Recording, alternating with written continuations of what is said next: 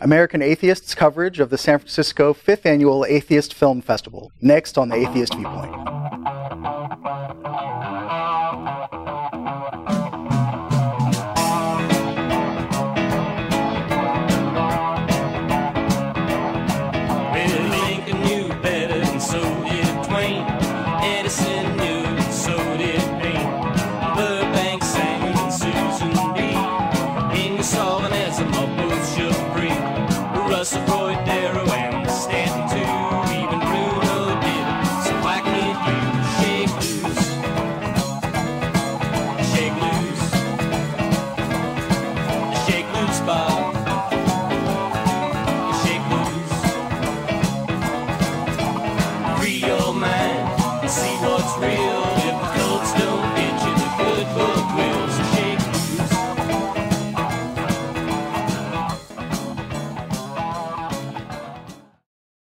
Welcome to this week's episode of the Atheist Viewpoint.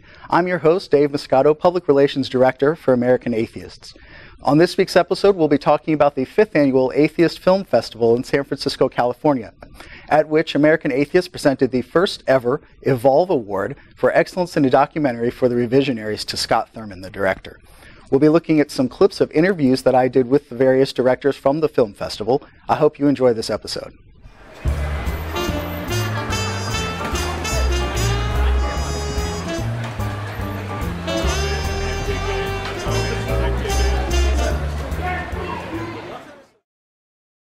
My first interview was with the founder and co organizer of the Atheist Film Festival, David Fitzgerald. Let's do it. This is Dave Muscato with the Atheist Viewpoint. I have here David Fitzgerald, who is one of the co founders of the uh, Atheist Film Festival. We're here in San Francisco. Uh, why don't you tell me a little bit about the film festival? Yeah, this is our fifth year. Um, it's the world's first and oldest atheist film festival. Uh, it's not the only one, interesting enough. There's a Free Thought Film Festival and uh, other film festivals of the type, but this is the first one that started all just five years ago. Great. So, how did you get the idea for it? Uh, it was kind of interesting. There was a guy named Hank Pellissier, aka Hank Hyena, and he's like a Johnny Appleseed of indie film festivals. And he gave us a call one time at SF Atheist and said, Hey, you know, I'm an atheist and I've done all these other film festivals, but I've never done an atheist film festival. Would you guys be interested in doing that? And I said, Brother, I've got a whole list right here of the films that we want to show at that film festival. And two months later, we had put together the first one, and it's just been growing ever since. Great. So, uh, why is it important to have a film festival just for atheist films? Well, I like to call it heretic friendly films. It's not so much that it's just uh, atheist, but what it is, it's, it's films that atheists can appreciate, and especially films that show uh, atheist perspectives on things and portray fictional characters who are atheists in a more realistic way than you get from Hollywood, where they're like killjoys or villains or or just general uh, strawman figures that get their comeuppance at the end and have a come to Jesus moment. You know, um, we wanted to show what atheists are really like, and it's a great celebration of being atheist. Sounds wonderful. Uh, can you tell me a little bit about some of the films that you have this year? Yeah, we're very proud to have the world premiere of a movie uh, called Hug an Atheist, which, if you've got Christian friends out there who don't know anything about what atheism is or they think you're devil worship or something, this is going to be a great icebreaker for what atheists really feel and like and do and what they're like in America. That's one of them. We've also got another film called Kumaré, which is an amazing film. It's it's so unbelievable it could only be a true story. Um, it's a documentary that feels like a feature film about an Indian American who goes back to India sees the guru culture and says, you know what, I think I could do that. I think I could do a better job of it. And so it's the true story of a fake guru who gets a real audience and the impact that he has on them. It's just, a, a, on paper, it doesn't sound like that much. It's an unbelievable film. It's fantastic. We've also got The Revisionaries, which talks about the Texas School Board and how creationists are blatantly trying to water down science standards uh, to fit young earth creationism in it. And we've also got some movies that, uh, when they first came out in theaters, they didn't have a wide distribution, and so a lot of people didn't get a chance to see them on the big screen. It's movies like uh, The Magdalene Sisters, uh, Irish movie about young Irish women who were forced into this system, the Magdalene asylums, and basically without trial or any kind of uh, wrongdoing, became slaves for life at these these laundries in Ireland. True story. Um, We've also got a biopic of Charles Darwin called Creation. Um, and we've got other movies here. It's just a real full lineup from uh, noon to midnight tomorrow. And uh, we're just really knocked out by the, the, the lineup we've got this year. Great. And it's at the Roxy Theater, is that right? The Roxy Theater, historic Roxy Theater. It's the oldest theater in San Francisco. And um, it's going to be tomorrow, sep- uh, Saturday, September 14th from noon to midnight. Sounds great. Thanks for talking to me. I really appreciate it. Uh, this has been David Fitzgerald. You're watching Atheist Viewpoint. Thanks, Dave.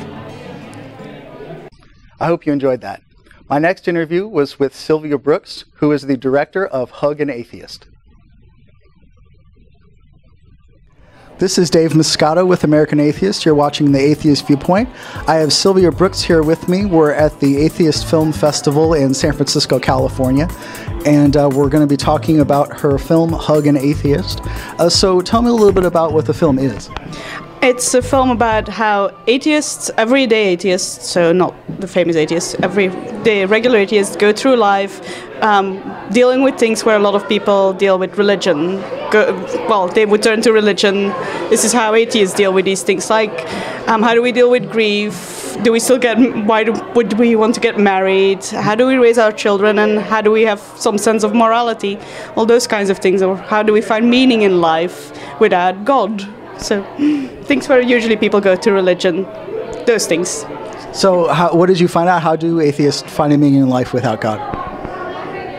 Well, they find meaning. They, they define the meaning by themselves. Um, your life is meaningful to you. I mean, universe might not care about you. Well, the universe doesn't care about you, but you care about each other, and you find meaning in the work that you do and in the connections that you have with other people. And so, yeah, there's lots of meaning to to me and to you. And Great. So, uh, wh- where did you come up with the title Hug an Atheist? I wanted something upbeat, something that people could relate to, something. So, I, because the film presents atheists, um, puts a human face on atheism. So it's it could be your next door neighbor or your colleague at work that is an atheist, and you know those people already, and you know you like those people already, and you might not know that they're an atheist. And hug an atheist seemed like a way of accepting atheism. Mm-hmm. Yeah. So, you're from Belgium, I understand. You live in England now. So, what what is the, the major difference that you see? Earlier tonight, you were talking about how uh, in Europe it's just kind of assumed that you're an atheist, and uh, it- it's unusual to, to come across somebody who isn't. Um, so, tell me a little bit about what what you notice and, and what it's like to come to this country.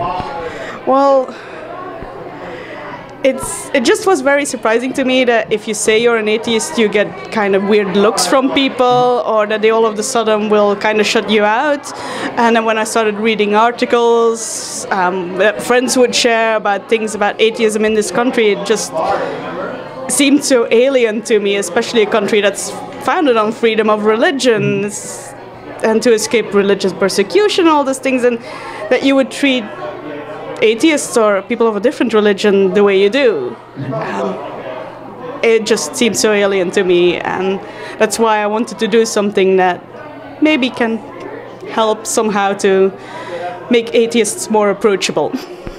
Great, that sounds wonderful. So, if somebody wants to watch this, uh, how can they go about doing that? Well, at the moment you can order, well, pre-order the DVDs or a Blu-ray on the website. Um, we're also going to make it available as a pay-per-view thing online uh, as well. And lots of um, local atheist associations and humanist groups have already been in touch to ask, like, can we show the film in our group? So if you've got one of those, maybe ask your group leader to see if they can get in touch and. That's kind of the way we're trying to distribute at this moment in time. Great, what's your website? It's huganatheist.org. O-R-G. huganatheist.org. Okay, uh, th- we've been talking with Sylvia Broeckx. Uh, thanks very much for joining me today. The interview you're about to see was with Sophia Winkler, the reporter featured in Sophia Investigates the Good News Club by director Scott Burdick. This is Dave Muscato. You're watching Atheist Viewpoint. I'm here with Sophia Winkler, and uh, she's going to tell us a little bit about the movie uh, Sophia Investigates the Good News Club, which is a documentary that they're showing here at the Atheist Film Festival, the fifth annual one. So tell me a little bit about it. Um, well, originally we are uh, we're part of Triangle Free Thought Society, which is our local secular group in North Carolina.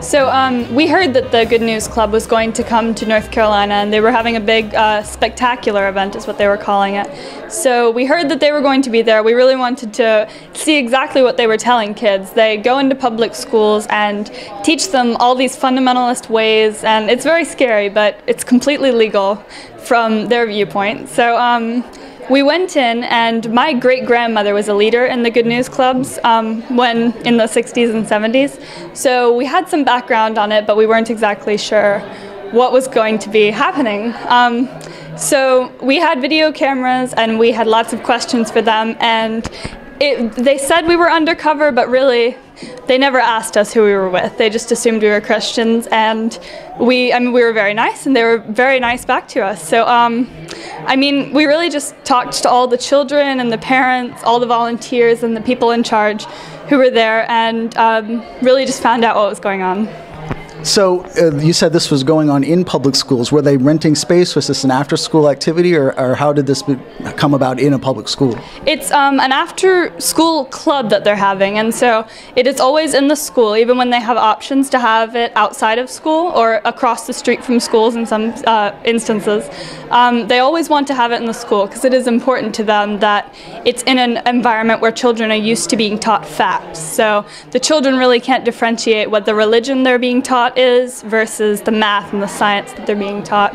So it's in all 50 states and 185 countries around the world and very much growing. And uh, it's completely legal as of 2001 when there was a court ruling saying that they could do this. And schools had no say in whether they were there or not. That's pretty scary. Yeah, I think it was um, Sweden. There was some country that outlawed uh, advertising on television shows aimed at children because studies show that they couldn't differentiate between actual programming and advertising. So, tell me a little bit about your role in this project. Well, um, I was definitely going in because I'm uh, in high school. They definitely they were more trustworthy, and um, I mean we were very friendly with them, and they were very nice back. Um, I know a lot of people who have seen the film are surprised by the fact that it wasn't a hostile environment at all towards us. Um, it was only kind of hostile afterwards when they saw the film. They realized who we were and who we were with, and that they probably shouldn't have let us in. But um, they. Um, so yeah, I mean, I was asking the questions and talking to them, and um, we just, I mean, yeah, we had just a few questions prepared beforehand, and it was very casual, just a conversation with them, and they were very open to talk about who they were and what they were teaching children, and their tactics for getting this point across. So I understand Katherine Stewart makes an appearance in the film as well. Um, Katherine was uh, um, one of the speakers at the 50th anniversary uh, annual convention for American Atheists. So she wrote a book uh, about the Good News Club. Can you tell me a little bit about that and, and her involvement with the film? Well, um, she did write a book about the Good News Club, and she also has some experiences with the Good News Club trying to come into her daughter's school. So um, it's definitely, she's speaking from a personal viewpoint, which is really important in the film. Um, so in the film, we, um, she's interviewed, but she wasn't there that day at the spectacular, so she's very important for getting background and really understanding what they're doing because the spectacular event was not in a public school. It was at the North Carolina Fairgrounds. So it was, Katherine really explains what's going on in schools and how that's important to the parents and the children involved. Great. Um, so if somebody wants to watch this, uh, how can they do that? Um, it's on YouTube. It's only 40 minutes or so. Um, they can look up Sophia Investigates the Good News Club, and it's their full length. And there are also several websites. Um, Katherine has a domain, and so does um, Scott Burdick, the filmmaker, I believe, who did this. Okay, great.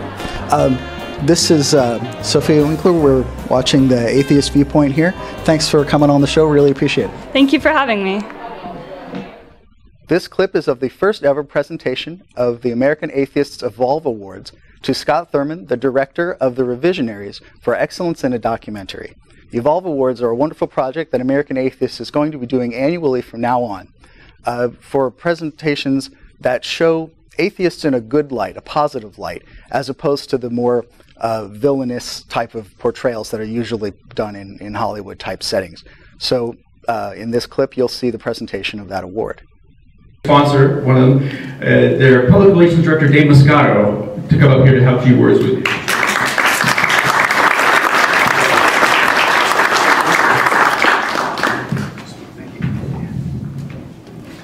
Hi, everybody. So, uh, the reason that I'm up here is uh, I wanted to present something here to Scott. We are starting for the first time something called the Evolve Awards. Uh, the point of the awards is to basically recognize filmmakers and bloggers and musicians and other groups. There are seven categories altogether. Uh, for portraying atheism and skepticism and scientific inquiry and rationalism in a positive light. So often, we were just talking about last night actually, uh, in Hollywood, you see atheists portrayed as the villain, and that's obviously not an accurate portrayal. And so this movie really shows atheists and, and skeptics as heroes, and that's something that we are really proud of and that we wanted to recognize. So uh, this is, like I was saying, the first annual one. We're going to be adding on more of these uh, every year. We're actually opening up nominations here for 2014 pretty shortly. But the first ever Evolve Award for American Atheists, I'm presenting here for excellence in a documentary to Scott Thurman, director. It's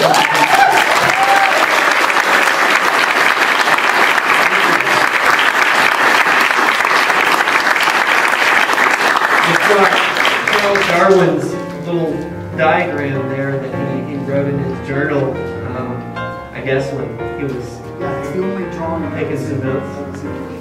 I love that. Thank you very much. Thank you so much. In this clip is my interview with Scott Thurman, the director of The Revisionaries. This is Dave Muscato. You're watching The Atheist Viewpoint. I have with me here Scott Thurman. We're at the uh, San Francisco, this is the fifth annual uh, Atheist Film Festival. We're going to be talking about his film. Uh, tell me a little bit about it. So uh, I did a documentary, and I'll let you hold the, the mic. I did a documentary on the State Board of Education in Texas, and it's about their standards review process, standards for the entire state for public schools in Texas. Um, but these standards go on to affect the textbooks that not only get distributed in Texas, but often get distributed throughout the nation. So a lot of people throughout the nation are concerned over what this Texas Board of Education is is setting um, in their state. So. And, and so, what are they setting? Why is this an issue?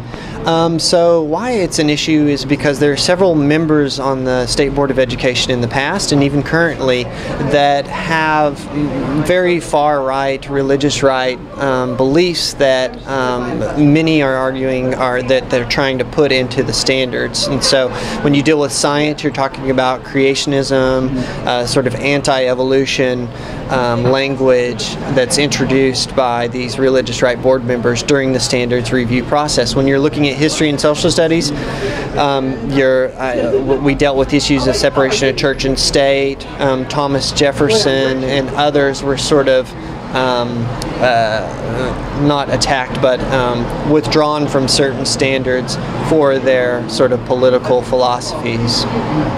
And so, uh, how long are these standards going to stay in place? Um, so the Texas Board of Education um, voted in 2009 for the science standards. They stay in place for 10 years. Um, and the textbook process is about to start actually next week. They're going to be reviewing textbooks, science textbooks, and these textbooks have to meet the standards that they set a couple years back. So now we're going to see the textbook review process for science books, and then history books will follow. And then around 2020, we're going to see uh, the standards, the science standards, and other history standards review process again. So it's a every about every decade that they they look at these. Yeah, it's a, it's a very important issue. It affects a lot of people. So, how did you get interested in making this film? I was interested in science education. I felt that um, many people, especially when you look at it politically, science is, um, I don't think, understood by the general public, specifically evolution. Um, people don't see evolution as a fact, and, and mostly it's the people that have like religious um, leanings that they're opposed to evolution for its philosophical implications. And so I was interested in science education, not just the sort of facts and figures of science, but the scientific process. In a way, we go from not knowing about something to understanding aspects of our natural world. Um, and sort of that process for me is is a way of life that you can apply to things throughout your life. It's not just these cold hard facts in science. They're things that we can live with on a day-to-day basis that improve our lives and have already improved our, our lives right now. So uh, yeah, I was I was interested in science education, and that led m- me to the board of education and Don McLeroy. And Don invited me into his home, into his office. Is a very sort of good sport about it all. And so, although I disagree with Don a great deal in terms of his political philosophy, I um, I really like the guy on a personal level and appreciate um, what he, the amount of access he did he gave us, and with that added access was the um, sort of increased um, a responsibility on my part to treat him fairly, and um, I hope that I've done that. Um, and I wanted to humanize him and all characters that might be considered the villains, or you know, uh, just everybody in the film. I wanted to create a sort of even-handed look at them, so that we're looking at the political issues and we're not demonizing people um, because you know people can do good or bad and let's hope that we can be nice about it and have conversations about it and understand each other better to where we're all doing good in the light of it, uh, everyone else. I guess that's a little grandiose or optimistic but um, that's my perspective. I, I think he'll come around. I think they'll come around eventually That's great, and I think you've succeeded very well in doing that. In fact, um, this is the winner of the first ever Evolve Award from American Atheists. Uh, we're really glad to have you be part of this. So, if somebody wants to watch this, uh, how can they go about doing that? Well, um, right now they can see it on Netflix. You can watch it um, online through there, but it's also it was just released um, on video on demand. So several sites, including iTunes, people can check it out online, and um, uh, it's out on DVD. You can purchase a DVD from our website um, and uh, check it out from that way as well. And what's your website? Uh, TheRevisionariesMovie.com. Okay. We've been talking with Scott Thurman, director of the Revisionaries at the fifth annual Atheist Film Festival in San Francisco, California. You're watching the Atheist Viewpoint. Thanks, Scott. It was Thank really great having you very much. Appreciate it. That's it for this week's episode of The Atheist Viewpoint. I hope you enjoyed these interviews. We'll see you again next week on The Atheist Viewpoint, where reason reigns and reality rules.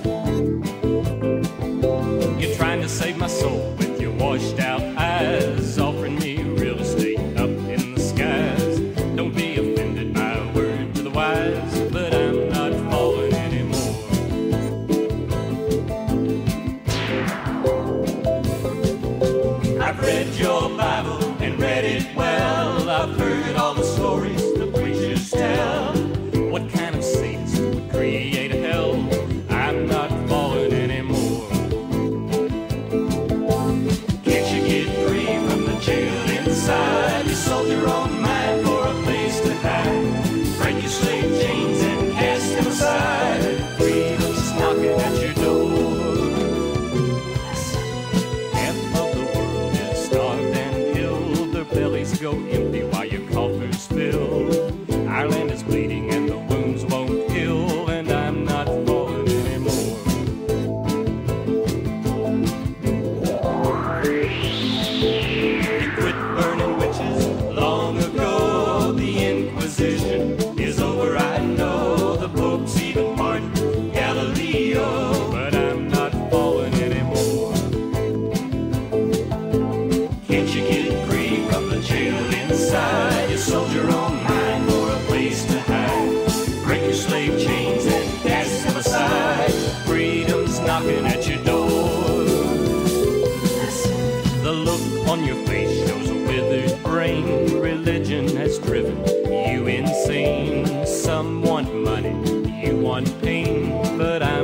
falling anymore.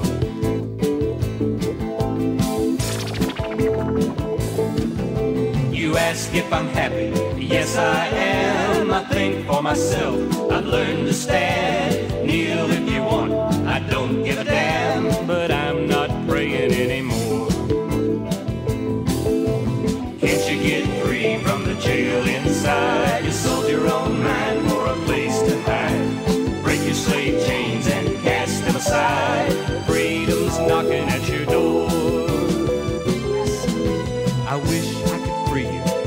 you your. You disdain life and you're scared of hell. They've indoctrinated you quite well, but we're not falling anymore.